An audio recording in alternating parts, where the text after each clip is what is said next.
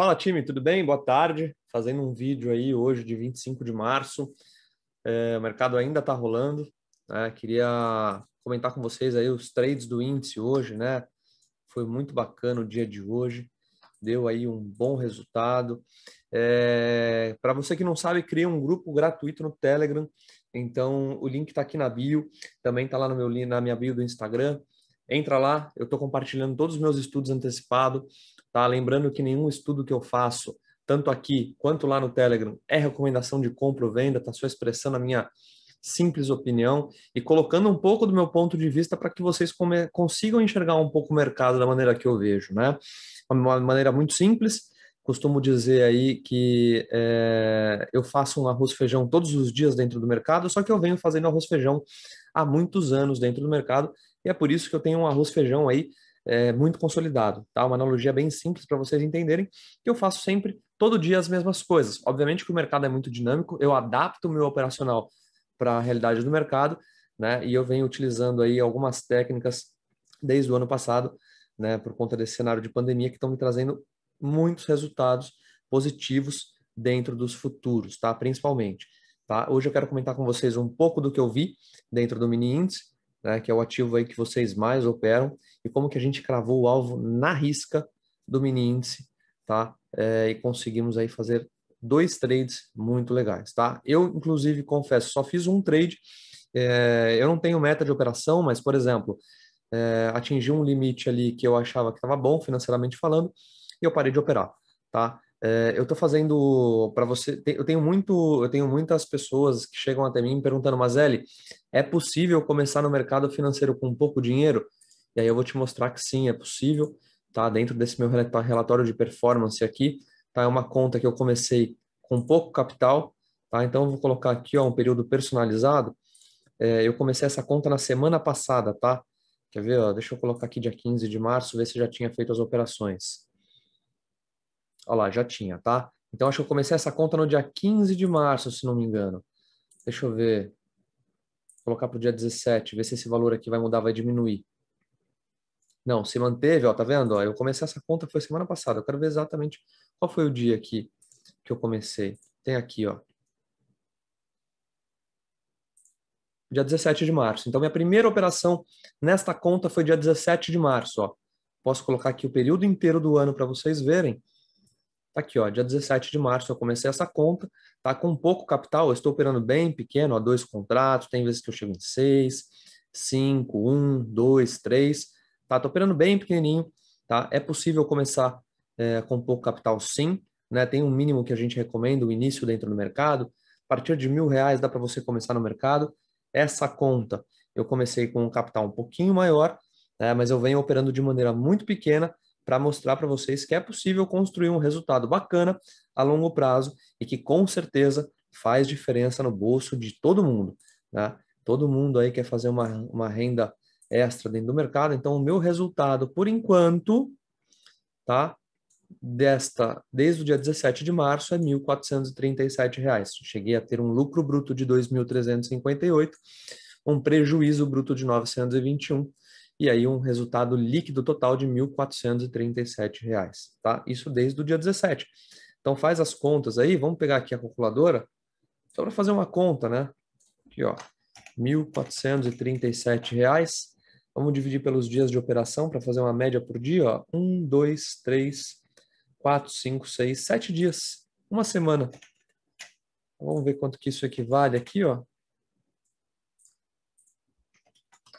uma média de 200 reais por dia, tá? Se a gente continuar nessa tocada aí, vamos supor ainda a gente tem amanhã, tem mais quatro dias aí, né, de, de operação, né, de dias úteis aí de operação, né, uma vez que a B3 vai funcionar semana que vem, não vai ter os feriados, então a gente tem 26, 29, 30 e 31 de operação, então uma média de 200 reais. Supõe-se que eu fecharei esta conta, vamos ver, né, no dia 31, mas com 2.200 reais, uma média, tá? No final do mês, em apenas aí 7, 8, 9, 10, 11 dias de operação. Tá bem bacana, né? É um bom complemento de renda. Sei que muitos de vocês aí é, gostariam de estar tá fazendo uma renda extra dentro do mercado. Então, eu tô aqui para mostrar para vocês que, mesmo com pouco capital, é possível você gerar renda dentro do mercado financeiro desde que você saiba o que você está fazendo, né? Isso é muito importante. O mercado ele não aceita desaforo e ele não é para amadores. Então, se você está entrando no mercado agora, o mercado é para todo mundo, mas tem a postura de profissional. Conte comigo para te auxiliar nessa jornada. Mais uma vez, tem um grupo de, do Telegram gratuito, onde eu antecipo os meus estudos ali e comento a minha visão de mercado. Então, conte comigo para tentar vencer nessa jornada aí do mercado financeiro. Tenho certeza que você também consegue, tá? É, vamos lá. Vamos falar o que eu vi no índice. O índice abriu aqui nesse candle hoje, ó. 9 aqui, ó, nesse daqui, 9 horas da manhã. Né? Deixa eu até colocar um contador de candles aqui, porque aí eu gosto de falar para vocês, olha, foi no candle X, e aí vocês conseguem visualizar mais fácil aí dentro. Né? Então, vamos colocar aqui um contador de candles. Ó. Então, o índice abriu aqui ó, no candle 1, né? fez uma barra de impulsão. Deixa eu colocar aqui o volume. O volume também é bem importante. Eu troquei o layout aqui, porque eu não quero... No layout principal que eu utilizo para a operação, tá lá os, meu, os meus estudos. Eu quero refazer os estudos com vocês aqui, por isso que estava sem volume, tá? Então vamos lá. Abriu aqui numa barra de, né, é, de continuidade de movimento, ó, o índice fechou aqui nessa zona de lateralização ontem, abriu aqui, tá? Nessa, nessa região. Vamos ver se tinha algum suporte importante aqui. Não tinha quase nada no índice aí, né? É, e aí fez uma barra de ignição aqui, né? Uma barra com volume, uma barra forte aí de tentar reverter uma polaridade ou reverter aí um cenário de, de queda. E aí a gente tinha essa média de 21 aqui por cima, ó, fazendo aí um padrão de reversão de tendência. Né? Muita gente gosta de vender padrão de reversão. Eu não vendo, né? a não ser que tenha um contexto. E aqui sim tinha tá, um padrão de um setup chamado PC de venda, tá? que é um setup da média de 21. Quem criou esse setup foi o Stormer, tá? um trader brasileiro muito é, reconhecido, aí, um cara muito bacana. Né? E aí, ó, o mercado chegou a derreter 800 pontos nos primeiros na primeira meia hora do dia, tá? Eu não fiz essa operação, não gosto de operar muito cedo assim, é, ainda não tinha um viés muito definido, então eu esperei para ver o que estava desenhando-se no índice, né? Então o índice veio aí, ó, depois, ó, e entrou nessa caixa aqui praticamente, né? Essa zona de lateralização, nada para fazer aqui nesse miolo, as médias estão de lado, então repare que médias de lado, tá? Você não opera, média tem tendência, e média de lado significa indecisão, não tem tendência. Então você não faz nada, espera o mercado sair dessa zona de congestão. E foi exatamente o que aconteceu. Ó. O mercado saiu, e quando ele saiu, ó, repare no posicionamento das médias, as médias já foram para cima. O que, que a gente tinha aqui? Ó? Um primeiro ponto de correção. Então a gente já tinha aqui um primeiro ponto de correção do índice para a zona justa de valor, que são as médias, né? fazendo um setup de compra aí 9.2. Tá? E a gente tinha toda essa extensão aqui, ó, então eu tenho falado muito aí do V, né? A gente tinha todo esse V aqui, ó, entrando, sendo rompido, certo? Então a gente pode expandir esse movimento do V para cima e aí temos aí um primeiro alvo. A primeira entrada do índice hoje, essa sim, essa operação eu fiz, foi aqui nesse 9.2 de compra. Tá? Eu entrei na superação da máxima do candle 45. Tá? Vou dar um zoom para vocês enxergarem melhor. Ó. Então eu entrei na superação da máxima do 46, perdão, tá? Neste candle aqui, no 47, então repare. Ó, minha entrada foi exatamente aqui. Vou colocar para vocês aqui, inclusive, ó, os meus trades para vocês verem que eu fiz essa entrada, ó.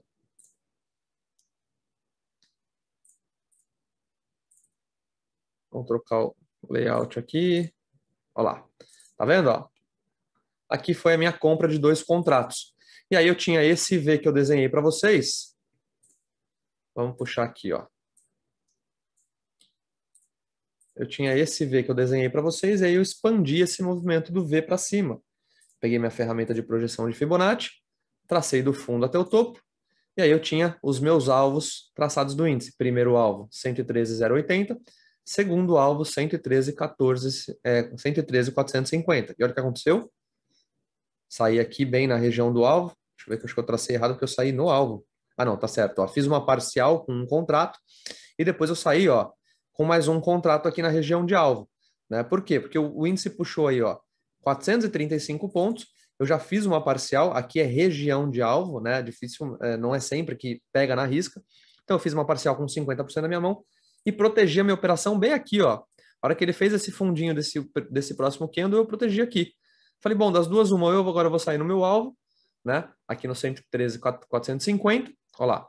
Ou eu vou sair aqui no stop gain, né, no stop gain aí de mais 360 pontos. Então, das duas, uma, e foi, o índice me deu aí esse baita de um presente, né? Me deu esse alvo muito bacana. Foram aí 500 e poucos pontos, tá?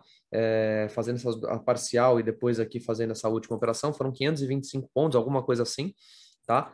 É, com dois contratos, tá? Eu cheguei a fazer duas vendas hoje no começo do dia, ó, tava tentando antecipar um movimento de queda, o mercado não andou, ó, que eu vendi cinco contratos, aqui eu recomprei os cinco, estão saindo zero a zero, e aqui eu também, ó, vendi cinco contratos e acabei aqui, ó, fazendo uma parcial de três e depois eu saí com dois no, no zero a zero. Tá? Vi que o mercado não quis evoluir movimento de queda e tentei, e aí eu esperei realmente uma boa definição do mercado, que foi essa daqui. Tá? Eu entrei com dois aqui porque ainda estava um pouquinho distante das médias. Se corrigisse mais na média, eu entrava mais pesado. O mercado não corrigiu, fui com dois mesmo. Tá? E olha o que aconteceu no mercado depois, ó. Entrou numa lateralização, ó. Olha lá. Opa, Mazelli, rompeu aqui a lateralização, né? Rompeu, mas olha o que eu gosto sempre de olhar, ó. Deixa eu colocar uma média no volume para vocês identificarem algo que é muito importante que às vezes vocês deixam de olhar. E o que que é isso, ó? Que tem que colocar dentro do volume, Mazelli, pô. Olha lá, tá vendo aquela média verdinha ali, ó? Deixa eu tirar. Tá vendo essa média verdinha aqui? É uma média dentro do volume, ó. Quando ele fez esse rompimento no candle 58, ó, repara no volume aqui embaixo, ó. Tá vendo que ele estava abaixo da média? A última barra aqui não está abaixo da média? Então era um volume fraco. Né? Apesar dele ter rompido essa lateralização, era um volume fraco. E olha o que acontece diretamente no próximo candle. Ele reverte, ó, ele não aciona a máxima, não supera a máxima e reverte voltando aí para a lateralização. Tá? Então, esse aqui foi um falso rompimento que o índice fez. Né? Eu passei lá no grupo do Telegram, falei, olha, o índice está rompendo lateralização depois de um outro candle, dá uma olhada, ó. Olha lá, a lateralização. E aí ele rompeu a lateralização. Olha a diferença de volume aqui. Eu falei, galera, o índice agora sim parece que está rompendo uma, uma lateralização. Está entrando volume, né? então ele estava rompendo aqui essa lateralização, ó. Tá? Deixa eu pintar aqui.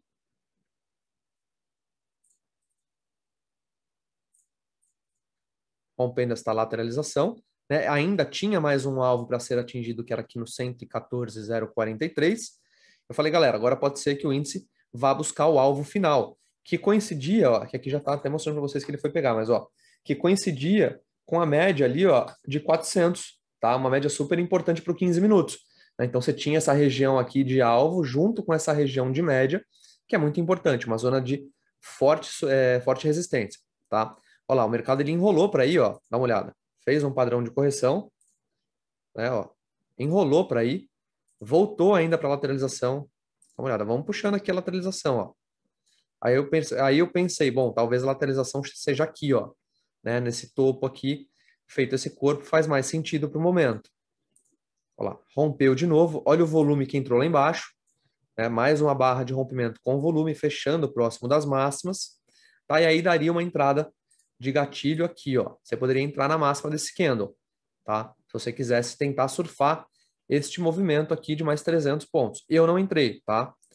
Olha lá, ativou a barra e o stop, mas é na mínima da lateralização. Então, é um stop mai, maior para o retorno, né? Então, eu não gosto de operar com operações que o stop, é, que o risco retorno são negativos, então eu não entrei. O stop ficaria aqui embaixo, tá? Então, aí era um stop muito salgado para um gain muito pequenininho, né? Coloca aqui, ó. E é sempre legal você rabiscar no seu gráfico para você estudar as operações, tá? Olha lá. Ele voltou. Enrolou mais um pouco, ó. Vamos puxar aqui a zona de lateralização. Até que cravamos o alvo na risca do índice. Olha lá. Olha isso aqui, gente. Isso aqui é uma perfeição gráfica, né? Olha lá. Olha que bacana, ó. Tá? Passei toda a evolução desse trade lá no grupo do meu Telegram. Inclusive, eu vou até mostrar para vocês, para vocês verem que eu passei desde o comecinho. Tá? Ó, dá uma olhada aqui, ó. Passei desde o comecinho da lateralização, ó. Índice rompendo lateralização com alvo final em 114,050. Olha como tava, ó. Passei lá, falso rompimento, que foi aquilo que eu falei para vocês com pouco volume. Lá, rompendo, alvo final, aqui em cima. Já estava com toda a evolução do trade pronta ali dentro do grupo do Telegram, ó. Índice fazendo 9,3 nos 15 minutos, que é esse padrão aqui, ó. Setup, um gatilho de entrada, ó. Um alvo final aqui no 114,043 e também tinha o alvo da lateralização que eu vou traçar com vocês, que coincidia, ó então, aqui, ó, alvo de 161.8, que era o alvo desse V, a gente tinha aqui o alvo de 61.8, que era o alvo da lateralização. Então, olha que bacana, né? Essa sinergia de alvos aí, tá? Então, evolui todo esse trade lá no grupo do Telegram, tá? Olha lá, olho no lance, vai pegar o alvo, foi lindo, foi maravilhoso, 500 pontos no bolso, né? A galera comentando ali, ó, no grupo do chat, ó. Então, aqui, ó. Parabéns, no cu da mosca, palminha, foi bonito, top. Então, a galera viu que eu comentei toda a evolução desse trade lá no grupo. Tá? É um canal que eu criei ontem, é super recente, vocês pediram bastante, então eu resolvi criar. Dá uma olhada aqui que eu vou fazer aqui o alvo da lateralização. Olha que bacana essa sinergia de alvos, né? Gosto muito de traçar isso, ó. Tá vendo? Então a gente tinha a, o alvo da lateralização, então a lateralização rompeu, você tinha como primeiro alvo aqui 114,035, que era o último alvo, né? 114,050, a mesma coisa, o último alvo aqui de todo esse V aqui embaixo. Então olha que bacana, a gente tinha aí uma sinergia muito legal, né? Então a gente tinha esse V aqui expandido para cima, né, como último alvo aqui em cima, alvo da lateralização né, de toda essa extensão aqui, primeiro alvo aqui. E aí eu falei, galera, se romper, pode buscar 114,300, né? Mas não foi o caso, porque olha como essas regiões de alvo são importantes, né? Como o mercado respeita. Então, o que aconteceu, ó. Assim, e voltou para o movimento, tá? Então, hoje o mini índice foi isso, não vi nada no dólar, tá? O dólar estava muito ruim para mim nos 5 minutos e no 15, estava dando bastante trade dentro dos 60 minutos, mas os 60 minutos é algo que você tem que carregar, então é, eu prefiro operar pelo 15, né? Eu olho, é, tem uma importância muito grande aí, muitos me perguntam, mas Eli, por que, que você utiliza três, três tempos gráficos, né? 5, 15 60? Porque eu analiso uma sinergia, tá? Dentro dos, dos tempos gráficos. Às vezes os 5 minutos está me apontando uma compra, mas o 15 ou 60 me apontando uma venda. Então isso já me segura para entrar numa operação.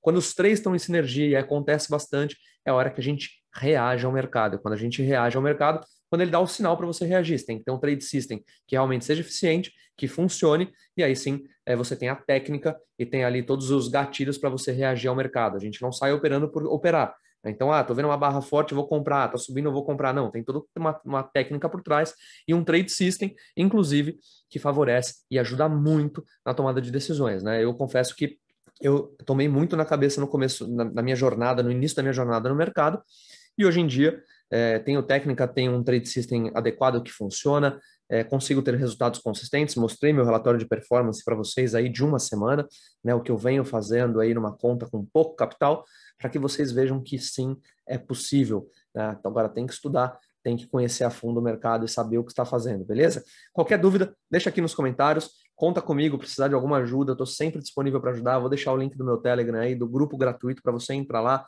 ter troca comigo. Pô, eu faço questão de comentar ali com vocês e ajudar ao máximo, beleza? Então, se ficou com alguma dúvida, gostou desse vídeo, porra, curte, compartilha. É, nunca fui youtuber, não tenho pretensão de ser, nunca fui professor, também não tenho pretensão de ser, mas, pô, se faz sentido para alguém, se acha que esse vídeo vai ser bacana, chegar em alguém, compartilha, vai me ajudar muito aí na divulgação do meu trabalho. Então, mais uma vez, muito obrigado, contem comigo, bora pro quebra aí, tamo junto, é nós.